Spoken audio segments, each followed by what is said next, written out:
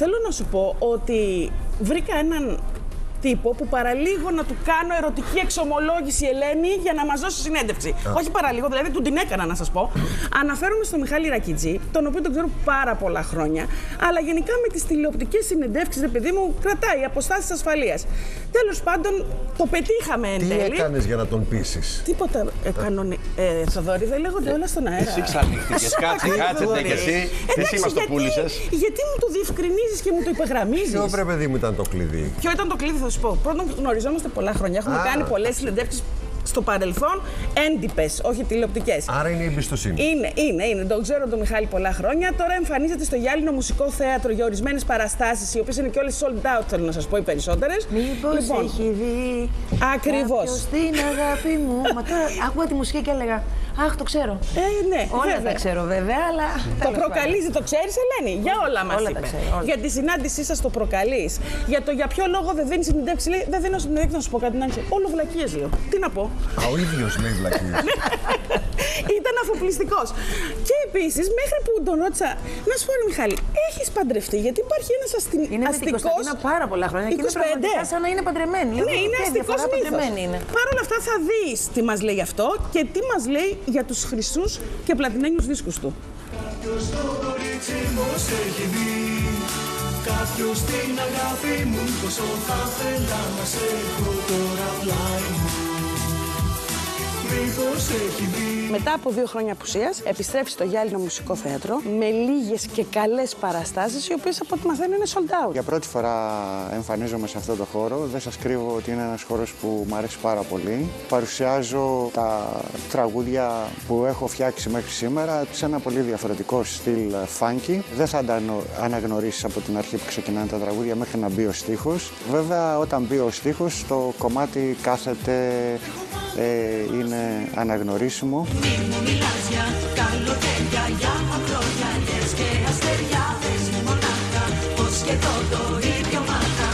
Είναι αλήθεια ότι το μη μου μιλάς για καλοκαίρια. Το είχες γράψει στο σχολείο; Ναι, και ακόμα έχω κομμάτια από εκείνη την εποχή, γιατί όταν έπεφτα για ύπνο, υποτίθεται, για να ξυπνήσω το πρωί να πάω σχολείο, μόλις κοιμόντουσαν δική μου, εγώ σηκωνόμουν με τα ακουστικά και όλο το βράδυ έγραφα κομμάτια σε ένα πομπινόφωνο που είχαμε τότε, μέχρι τις 4-5 η ώρα το πρωί και ξυπνούσα στις 7 να πάω σχολείο. Και στο σχολείο που πήγαινες μετά; Ε, μπορούσα να κοιμηθώ σε σχολείο. Τέλεια. Γι' αυτό Ήσουνα επιλέγαμε ο και τα- ιδανικός τα τελευταία μαθητής. θρανία πάντα. Ήσουν ανήσυχο νιάτο. Πάρα πολύ. Τρέλες; Πάρα πολλές.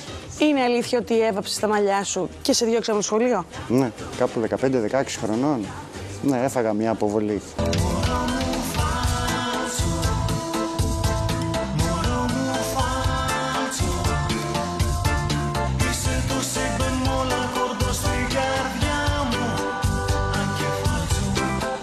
Το μωρό μου φάλτσο ήταν το πρώτο τραγούδι που έγινε τεράστια επιτυχία, σωστά; Ναι, και έγινε α, επιτυχία ερήμην μου. Άρχισε το κομμάτι να παίζεται πάρα πολύ, αλλά κανείς δεν ήξερε ποιος ήταν. Ε, και εγώ έτυχε να περπατάω έξω στον δρόμο να το ακούω ή να πηγαίνω σε κάποιο κλαμπ και να το ακούω, αλλά κανείς δεν ήξερε ότι είμαι εγώ. Αυτό είχε έτσι ένα ενδιαφέρον για μένα. Και μετά πάρα πολύ πλατινένιοι δίσκοι, χρυσοί, αυτά. Ναι, εντάξει. Χιλιάδε. Τους έχεις κρεμασμένους στο σαλόνι, Όχι. Ποτέ δεν τους κρέμασα, όχι. Σε ντουλάπι είναι όλα. Γιατί; Δεν μ' αρέσει, δεν μ' αρέσουν τα τρόπαια. Εντάξει, το θεωρώ και λίγο ξυπασμένο να μπαίνει ο άλλος σπίτι σου και να βλέπει τους χρυσούς δίσκους. Αν έρχεται, έρχεται να δει εμένα. Δηλαδή, είναι κάτι που δεν μ' αρέσει. Προκαλείς, σου το λέω προκαλείς Κι από φίλο αν στριφωχτείς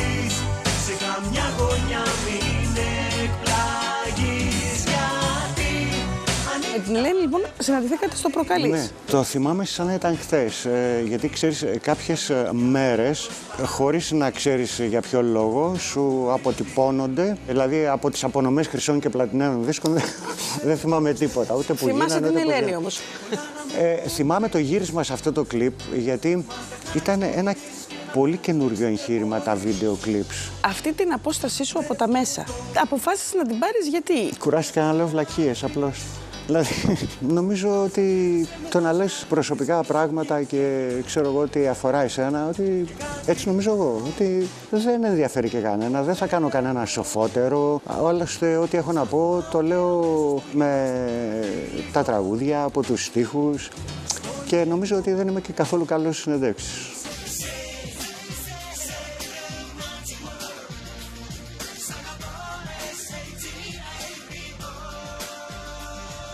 Υπάρχουν φάουλ στην πορεία σου; Πιθανόν. Δεν ξέρω. Δεν μπορώ να αλλάξω κάτι. Η Eurovision ήταν ένα φάουλ, ας πούμε. Για μένα όχι. Ήταν μια απόφαση στιγμής, το έκανα επειδή το ήθελα και αυτό ήταν. Τι γεύση σου άφησε; Ε, ότι η γεύση σου αφήνει μια εμφάνιση. Δηλαδή, αν έχω κάνει χίλιες, δύο, δεν ξέρω πόσες χιλιάδες ή εκατοντάδες εμφανίσεις στη ζωή μου, η κάθε μία μου αφήνει μια ξεχωριστή γεύση. Γι' αυτό πιες σ' ό,τι είχαμε ζήσει μέχρι χτες Σ' όλες τις ωραίες μας στιγμές Βρίσκε με ακόμα αν το θες Μην κλάψεις μόνο και πες Πάντως είσαι τύπος του για πάντα. Τώρα ξέρω Ε, που το λίγο, πας, ξέρω λίγο. που το πας. Δεν- δεν θέλω να πω που κάτι. είσαι το τραγούδι λέει ποτέ μου δεν σου είπα δικό σου για πάντα. Έτσι, έτσι λέει το Έτσι κομμάτι. τραγούδι. Η Ναι. στάση ζωή σου είναι άλλη όμως. Είσαι στο για πάντα.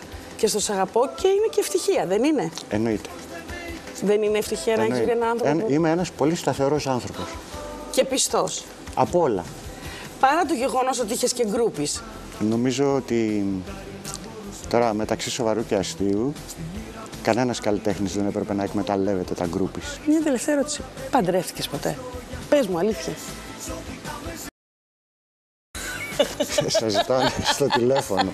Γιατί είναι αστικός μύθος. Μέλα. Αλήθεια. Μ' αρέσουν οι μύθοι. Είσαι σαν κουνέλι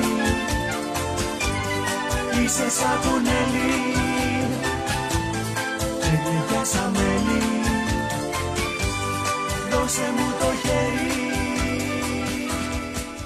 Αν θέλω να πω κάτι για αυτόν τον άνθρωπο, τον Μιχάλη. Τον Μιχάλη, επειδή τον ξέρω και αυτόν πάρα πολλά χρόνια. Τον ξέρω πριν ε, αρχίσει να με μαθαίνει εμένα ο κόσμος. Δηλαδή από την εποχή του βιντεοκλίπ και λίγο πιο μετά.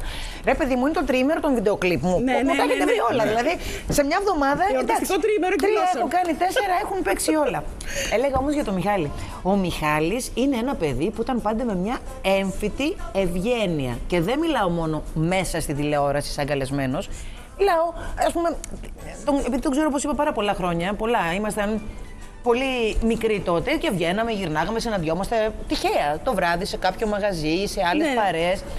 Αυτός ο άνθρωπος και εκτός των φώτων ήταν πάντα Και έτσι. έβγαινες. Άκουγε τη φωνή του σε, αυτόν, σε αυτό το Σε αυτόν τον ηχόχρωμα τόνο. παραπάνω, δεν πήγαινε ούτε παρακάτω. Ήταν τρομερά ευγενής σε βαθμό που να, νομίζω από τους λίγους που Και μπορεί να έχει σεμνός. γνωρίσει κανείς Και τόσο πολύ πολύ. σεμνός. Γιατί- Εντάξει, ο σεμνός, εγώ λέω πώς φερόταν, παιδί μου. Ναι. Φερόταν καταπληκτικά. Δηλαδή δεν σε Ήταν έφερνε σε gentleman ο δύσκολη θέση, άνθρωπος. ήταν ένας κύριος. Ναι, ναι, ναι, ήταν Η gentleman. ευγένεια είναι το πρώτο πράγμα που μου έρχεται στο μυαλό όταν σκέφτομαι Ναι, τον Μιχάλη εγώ το Ρακιτζή. λέω και για τη συμπνότητα, γιατί παρά το γεγονός ότι έκανε μια μεγάλη καριέρα ο άνθρωπος αυτός, βλέπεις ότι τελικά τον εαυτό του δεν τον πήρε ποτέ παρα- πολύ παραπάνω σοβαρά από ό,τι έπρεπε. Σου λέει στο σπίτι μου, τους χρυσού μου δίσκου και τους πλατινένου τους έχω κλειδωμένους σε ένα ντουλάπι, γιατί το θεωρώ και λίγο ξυπασιά να έρθει ο άλλος, ας πούμε, στο σαλόνι μου να φάει μαζί μου Δηλαδή, και με να πιει ένα συγχωρείς, καφέ. εσένα αυτό σου κάνει εντύπωση. Δηλαδή, αν όλοι εμείς που δουλεύουμε στην τηλεόραση ή ξέρω εγώ στο, στο οπουδήποτε, στην, στο Ναι. ραδιόφωνο, οπουδήποτε, ό,τι έχει πάρει ο καθένας, δύο βραβεία, τρία βραβεία, πέντε βραβεία, γιατί κάποτε γινόντουσαν και πολλές βραδιές με βραβεία. Βεβαίως, ήμουν δηλαδή, εκεί θα σε ήθελες αυτές. να έρθεις σπίτι μου και να δεις βραβεία. Όχι, αλλά σε πολλά σπίτια όμως που πάμε, Ναι. ξέρεις ότι οι δίσκοι είναι από πάνω μέχρι κάτω, μέχρι και προσωπογραφίες παρουσιαστριών. Έτσι. Από το στόμα μου το πήρε. Ναι. Το ένα είναι η, τα βραβεία, τα έπαθλα, δηλαδή το αντίτιμο της καλής εργασίας σου. Και το άλλο είναι ε, το αυτοπορτρέτο. Το πρώτο μπορεί να πει κανείς ότι το έχω για να μου θυμίζει όχι μόνο τη δουλειά μου, αλλά και όλους τους συνεργάτες. Δηλαδή, Ναι. ό,τι συνέβη εκείνη την περίοδο και είναι και ένας φόρος τιμής σε αυτούς, λέμε. Αλλά το αυτό πρόσωπο, πορτρέτο Ναι, κλπ. έτσι. είναι κάτι το οποίο δεν το έχω καταλάβει. Ακόμα το ψάχνω. Είναι ένα κομμάτι προσωπικής ματαιοδοξίας, παιδιά. Η αλήθεια είναι, δεν είναι; Έτσι νομίζω Έτσι εγώ. είναι. Έτσι νομίζω. Τον ευχαριστούμε πάρα πάρα πολύ. Πού είπες ότι εμφανίζεται και για πόσο θυμάσαι. Στο Γιάννηνο Μουσικό Θέατρο. Στο Γυάλινο Μουσικό Θέατρο. Για αυτές τις Ναι, μέρες ναι, ναι, είναι; ναι, όλα τα Σάββατα μέχρι τις γιορτές. Δηλαδή και παράταση, μάλλον η κατάσταση εκεί. Λοιπόν, τι αναζητήθηκε περισσότερο Α, στη Google ε, μισό το λεπτό να σηκωθώ. 2022.